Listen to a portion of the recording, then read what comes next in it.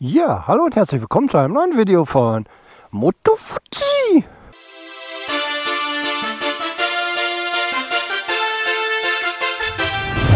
Ja, heute bin ich mal unterwegs ohne Koffer, wie ihr sehen könnt.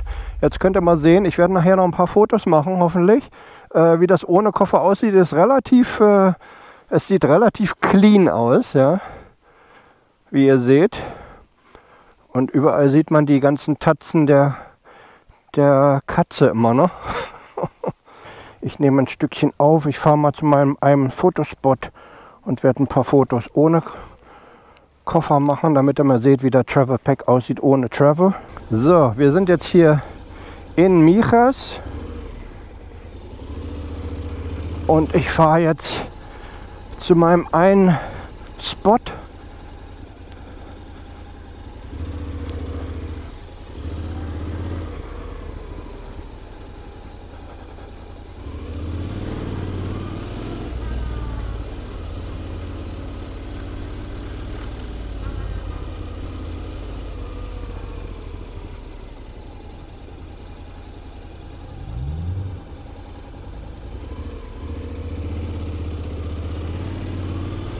Mal sehen, kommt hier was? Ich sehe nichts. Wir fahren mal kurz durch Michas durch. Kann ich da hinten fahren? Nee. Das ist jetzt ein bisschen zu kompliziert. Da kann ich nicht lang fahren. Müssen wir einen kleinen Umweg machen hier. Kleinen Umweg durch Michas.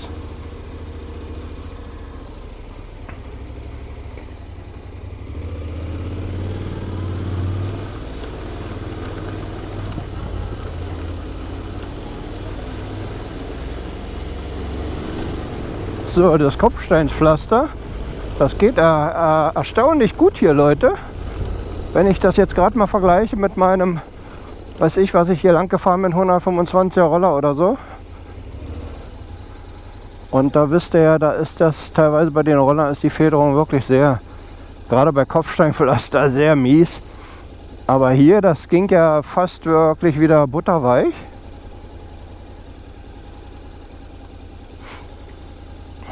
Wir müssen einmal jetzt hier rumfahren, weil das alles Einbahnstraßen hier sind.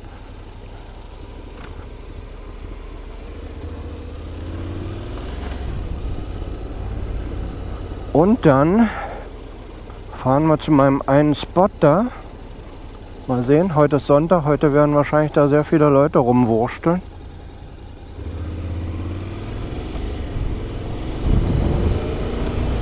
Ach so, wir können ums Dorf rumfahren, ist vielleicht besser. Ich fahre mal ums Dorf hier kurz rum.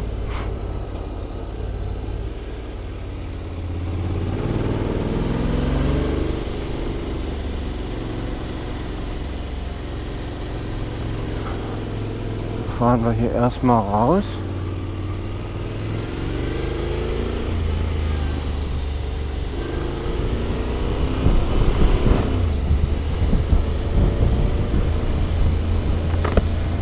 Ja, wir haben fast, nein Quatsch, ich habe es gar nicht mitbekommen. Wir haben 1004 Kilometer runter und ich habe jetzt bei Luis, ja, er hat wieder mal nicht geantwortet auf meine Nachrichten. ähm, ja, und bin, ich musste dann wieder hinfahren, um einen Termin zu machen. Es ist wirklich schrecklich.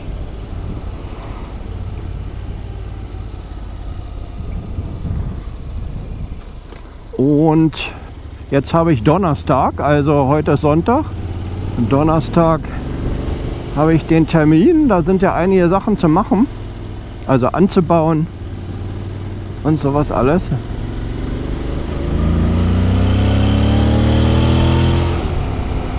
Und da bin ich ja mal gespannt. Ich habe ja nicht so das vollste Vertrauen zu der Werkstatt, weil sie ja schon bei der Über Übergabe meinen Luftdruck äh, nicht geprüft hatten und der 0,8 bar zu wenig auf beiden Reifen war.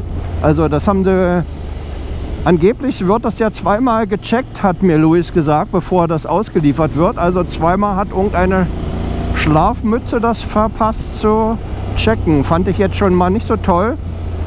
Und äh, also ich habe da ehrlich gesagt keine großen Erwartungen an diese Werkstatt. Ja, also klar, damit sollte man immer nicht rangehen, aber ja, ihr, ihr wisst ja, was mir immer alles so passiert hier. Und äh, ja, Donnerstag ist dann halt, wie gesagt, meine Werkstatt. Ich bekomme dann irgendwie ein Ersatzfahrzeug, mal schauen. Und äh, ansonsten habe ich erstmal noch nichts Neues zu erzählen. Ich habe jetzt, wie gesagt, jetzt nur die Boxen abgebaut. Eigentlich hatte ich gedacht, dass ich jetzt am Montag schon den äh, Servicetermin bekomme, aber nein, die sind schon wieder, doch schon wieder jetzt ausgebucht. Und ähm, ich wollte eigentlich mit so wenig Gepäck oder Boxen wie möglich dahin fahren. Jetzt habe ich sie abgebaut. Jetzt sehen wir mal, wie das alles ist ohne Boxen. Nachher, der kleine blöde Fuzzi kann dann wahrscheinlich die Boxen wieder nicht selber anbringen. Der ist immer zu blöd für sowas, für die einfachsten Sachen. Aber schauen wir mal, vielleicht schaffe ich es ja. Und deshalb werden wir heute noch ein Fotoshoot hier ohne Boxen machen. Ich muss ja auch immer noch die Gesamtvorstellung alles machen. Da habe ich hier, ähm, ja, wetterbedingt und, und ähm, zeitbedingt im Moment noch kein, keine Zeit gefunden.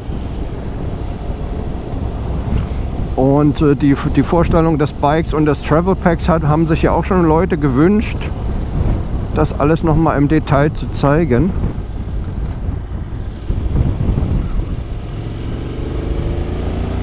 Und ja, so schaut es aus. Jetzt fahren wir erstmal, die kleine Kamera wird bestimmt bald wieder ausschalten. Ich habe ja immer noch keine USB-Stromverbindung hier. Die bekomme ich ja hoffentlich dann endlich am Donnerstag. Und ähm,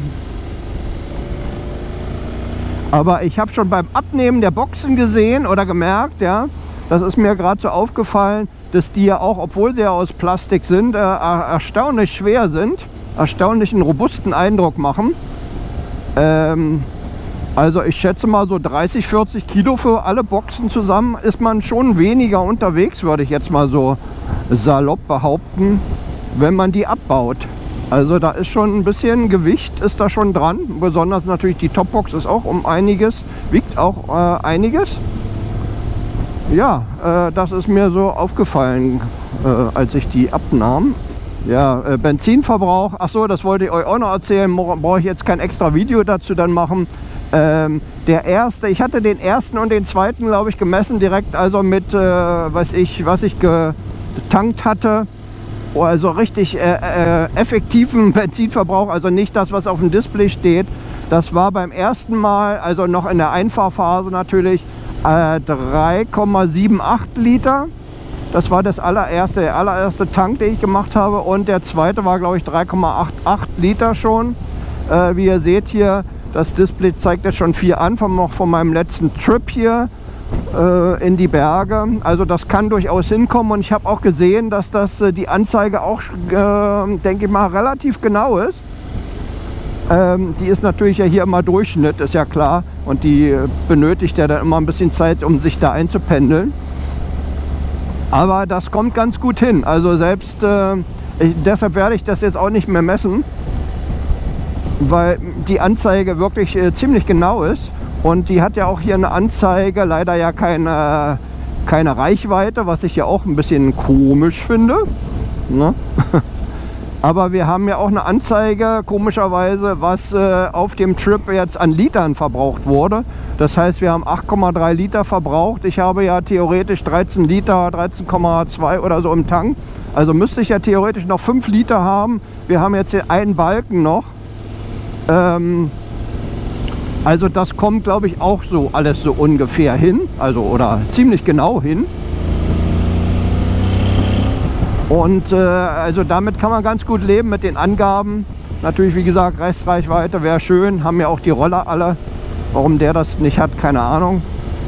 Und äh, theoretisch müsste er noch 5 Liter drin haben. Okay, jetzt der schwankt immer zwischen ein und zwei Balken, kann auch gut hinkommen. Für einen Balken vielleicht so drei, drei Liter noch drin und mit drei Liter, oh schön, die Bäume schlagen aus. Äh, ähm, da würde man dann, schätze ich mal, auch so noch 80 Kilometer oder wenn nachher der eine Balken anfängt zu blinken mit dem Reservegeschichte, ich denke mal, dass man da immer noch so 80 Kilometer kommen, weit kommen würde. Das sind so jetzt meine ganzen Gedanken jetzt zum zum Tanken und zur Reichweite und sowas alles. Also insgesamt hatte ich ja erreicht, kommt man, denke ich mal, schon gut und gerne auf 250 Kilometer.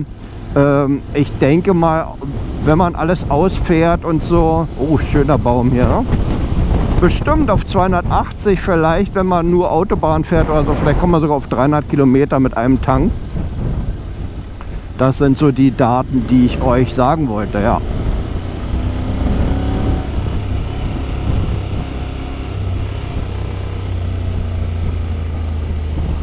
So, jetzt fahren wir mal zu dieser kleinen Stelle da. Mal sehen, hoffentlich sind da nicht so viele Leute, die mit ihrem Auto proben oder so, wo ich ein paar Fotos machen wollte.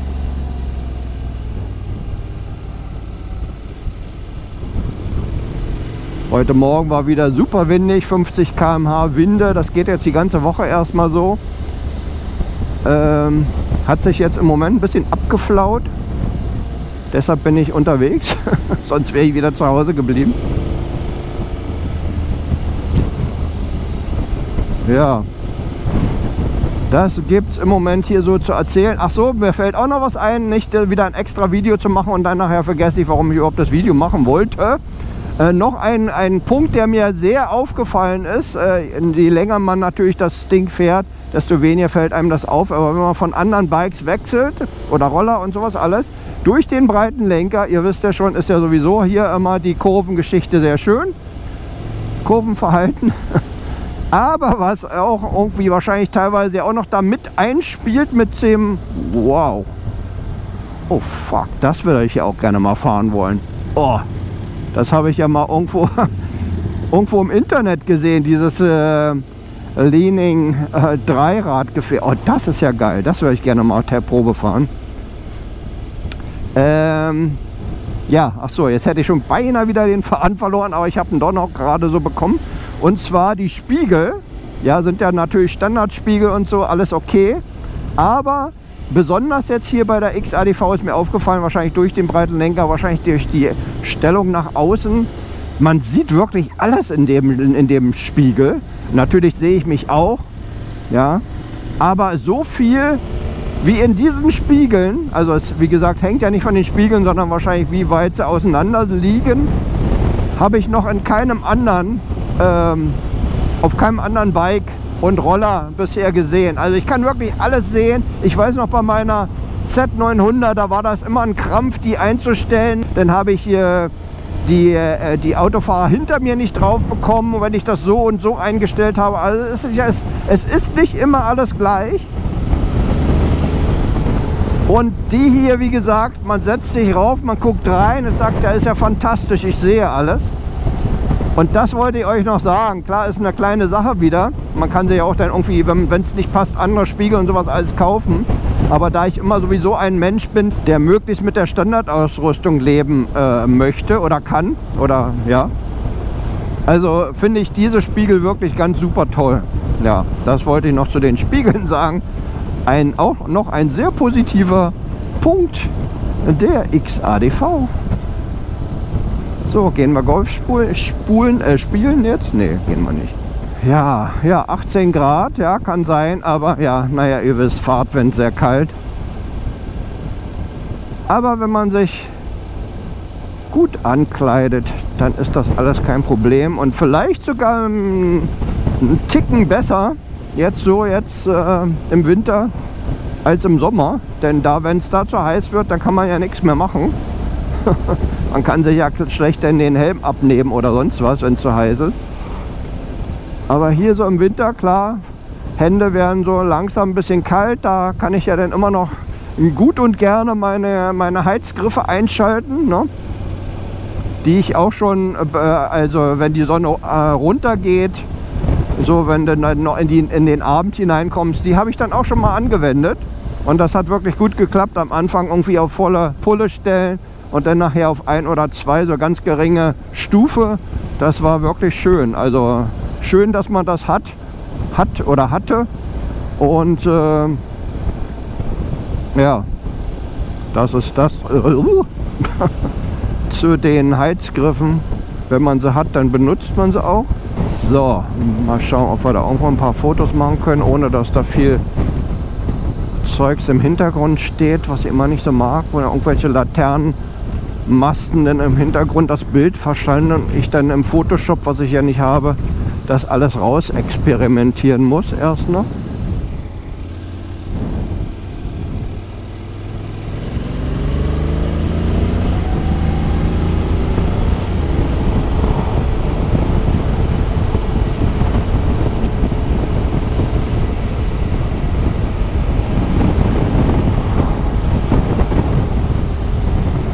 Ein Lotus Elise oder wie der heißt. Da gibt es da jetzt irgendeinen neuen, habe ich gehört.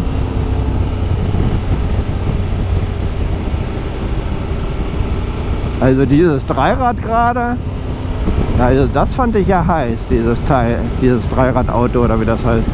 Sowas würde ich ja gerne mal fahren. Und dennoch mit Neigetechnik, Wahnsinn.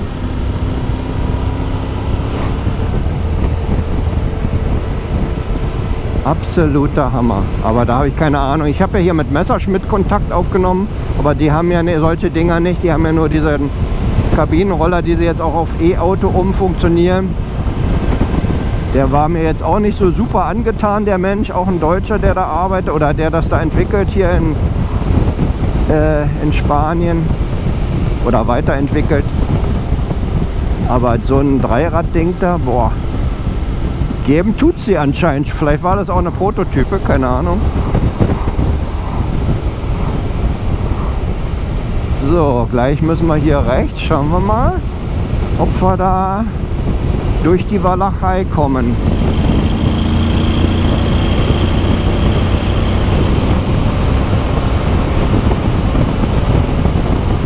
Irgendwo geht's hier rechts.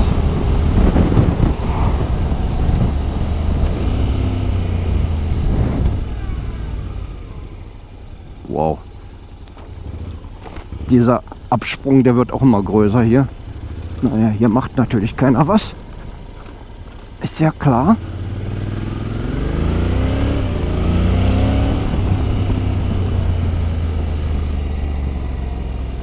Oh, keiner da, ist doch gut.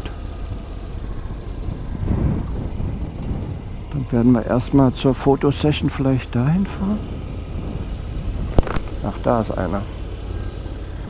Die machen Liebe im Auto gerade wahrscheinlich.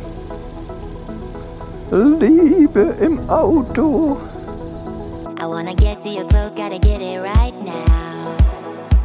I wanna push all the limits with you right now.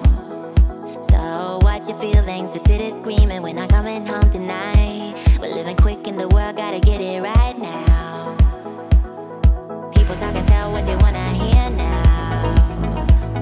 But they all disappear, they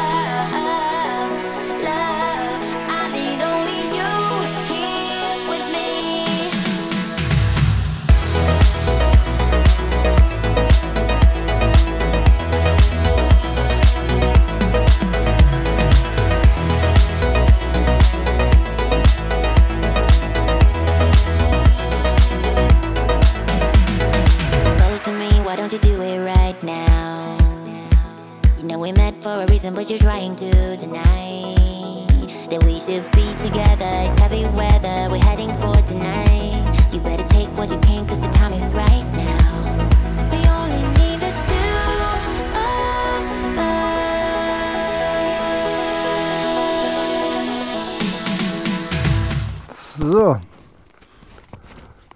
Wir sind wieder da. Hallo. Ich nehme noch den zweiten Teil auf. Ich fahre jetzt wieder zurück, aber das ja, wird da wieder langweilig, weil, ich, weil wir die Strecke gerade schon gefahren sind. Deshalb werde ich auch wahrscheinlich gleich das Video beenden. So, hoffentlich ein paar schöne Fotos in der Sonne gemacht. Und dann können wir jetzt wieder fahren. Gravel-Modus natürlich hier, ist ja klar.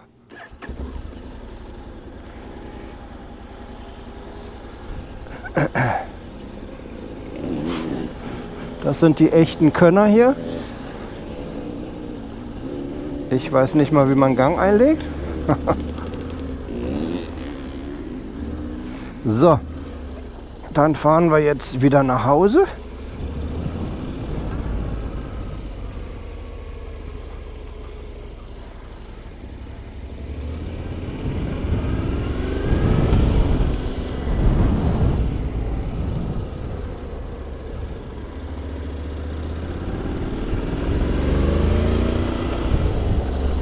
Ja, der letzte, das letzte Stück zurück wieder nach Hause. Äh, ein paar Fotos gemacht. Und das war erstmal alles hier. Vielen Dank fürs Zuschauen. Das war Motorfuzzi. Bis dann. Ciao, ciao.